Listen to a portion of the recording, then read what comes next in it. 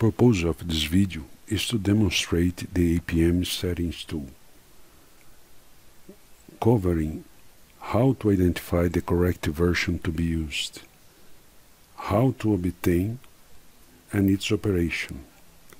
Normally it's used when there is the need to create a new APM settings file, when a new load is being installed, or when there is a need to change some parameters in an existing APM file. The demonstration will be performed on an Embraer E2 system, but is very similar to E1 systems. In order to identify the correct version of the tool, it's necessary to access the Honeywell Aerospace portal. Then select Support and then TechPubs. Perform the login and once you are on the TechPubs portion, do a search for tools. On the list of the publications, identify the software tool platform uh, SIL where uh, it's mentioned the airplane you are working, in our case E2. Select View Publication. On the SIL, identify the part number of the software tool chipset applicable to the load installed in the airplane. In our case, load 7.0. Copy the part number. Then, still in the portal, go to Software and Software and Data. And then Software and Database Services.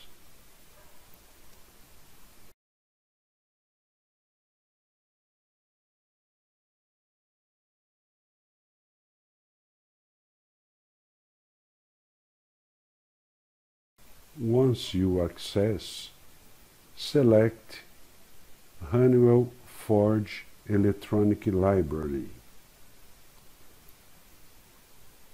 and then perform a search by the part number of the tool chipset you copied. Once you identify the tool chipset, perform the download and then the installation on the laptop that is normally used to load software in the airplane. Prior to start the APM settings tool demonstration, let's remember uh, some information about APMs. On E2 platforms, that are three files in each APM. They are the APM sysconfig file contained in the ops software CD, the APM options file that shows uh, the optional selected active for that airplane and the APM settings file that we are gonna cover the creation in some minutes and it contains the information on aircraft serial number, ACAL address, registration number, transponder code and others. There are uh, four APM hardware located on each aircraft, uh, one on MAU-1 NIC-1 back shell, another on MAU-3 NIC-6 back shell, and uh, on the MRC cabinets, not on the back shell, but on the cabinets. On E1 platforms, we have some differences on APM's file location, uh, file contents and location. Uh, there are a fourth file uh, on the APMs that is the APM rigging that contains the rig information for the flight control surfaces. And uh, the other difference, also marked in red, is the location of uh, the APM on MAU3. It's located on NIC 5 backshell, while on E2 is on NIC 6 backshell. In addition, let's talk uh, also about some APM settings generation tips. Uh, use the correct version of the settings tool as shown on the Honeywell Software Tools uh, service information or higher. Always use the settings.def file contained in the Ops Software CD. Always use capital letters. When there is a drop down on the right side of the tool uh, to select the type of units, uh, if X, octal, decimal, do not change let the default as showing the two. Normally is hex. And do not convert weights shown in the Embraer publication use them as is. Let's start the APM tool going to start Honeywell APM settings 3.0 in our case and start the tool. Once you start the tool, as mentioned on the tip, check the version of the tool, 3.0 in our case. Then find the settings.def file we shall always use the one contained in the ops software.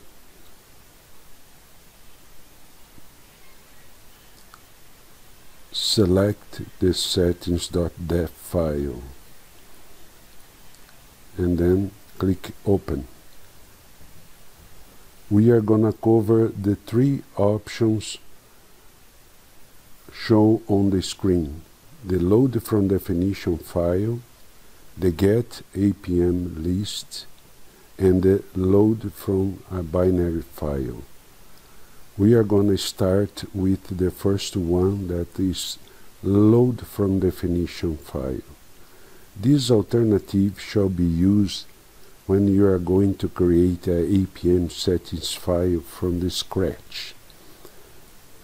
Start the tool and then you are going to populate all fields, do all selections, remembering the tips provided.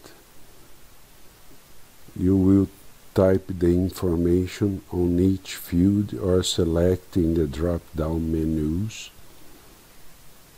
keeping in hex as mentioned on the tips, don't change that portion, and then do all the selections to create the file. You shall uh, use as reference for creation the file the Embraer, the applicable Embraer information bulletin that will contains all the parameters for you to fill in the tool. Another alternative to the Embraer Information Bulletin is the Aircraft Wiring Diagram Manual on Chapter 314153. You will find the appropriate information for the airplane you are working. Once you fill all the fields with the supplied information clicking create binary file and then select a folder where you are going to store the files that you are creating.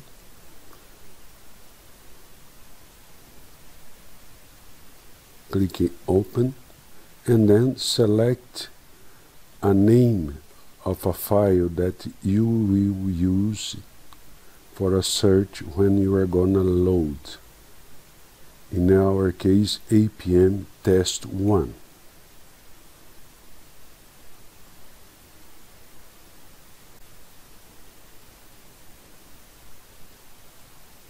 let's now do the second alternative. Get APM list this alternative shall be used when uh, you are gonna change few parameters on an existing APM. You can grab the information from one of the APMs installed in the airplane. Once you click Get APM List, it will show Uh, the each of the four APMs on the airplane. You shall select one of them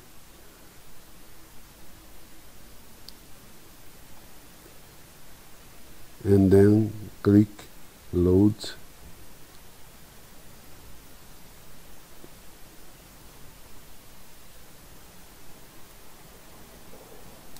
and the information was grabbed from the APM on the airplane. And you do the changes that you need to change. Select the field that you need to change, do the selection of the new value for that parameter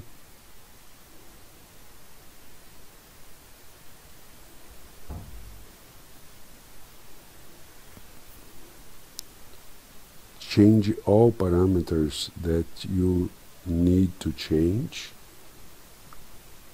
And like on the previous once all the changes are made all fields are already populated clicking create file and the same way select a folder to store the file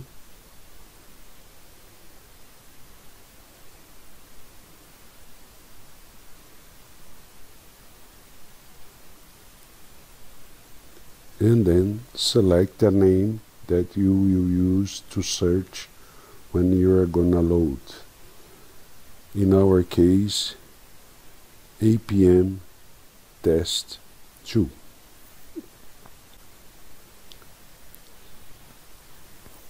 The third option, load from a binary file, is when you have a file in the laptop that you know is the file installed in the airplane. You can use this, you don't need to be connected to the airplane.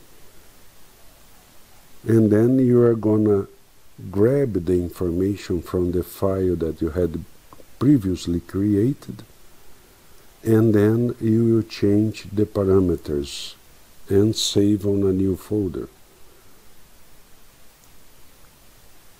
Once you know where the file is located, you select the location on the laptop and then you open. It will bring all the information from the files previously created. Then do the changes on the specific parameters that you need to change. Click create the file select a place to store the file and provide the name that you are gonna search when you are going to perform the load on the airplane.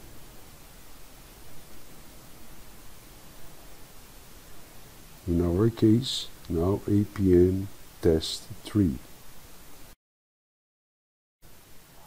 Once the file to be installed is created, start the CMC remote terminal, select data loader,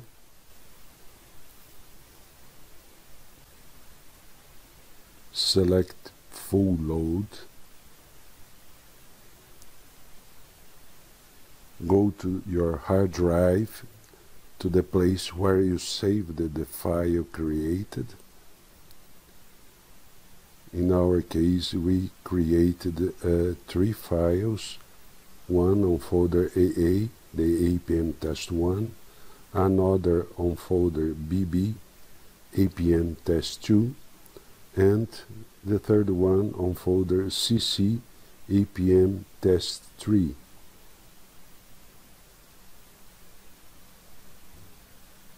Then select the file and click Select File. The tool will start the configuration check. It will give an estimate for each of the APMs being loaded and below will show a total time when the configuration check is finished. Select Start Load. The files are being transferred to the APM hardware.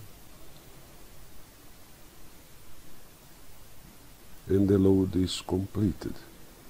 After loading the files, it's a good practice to cycle power to the airplane and after a power up you can uh, verify that there is no APM fault or APM fail or APM miscompare message and uh, the proper information that you inserted in the file you created will be displayed in MFD sysconfig pages.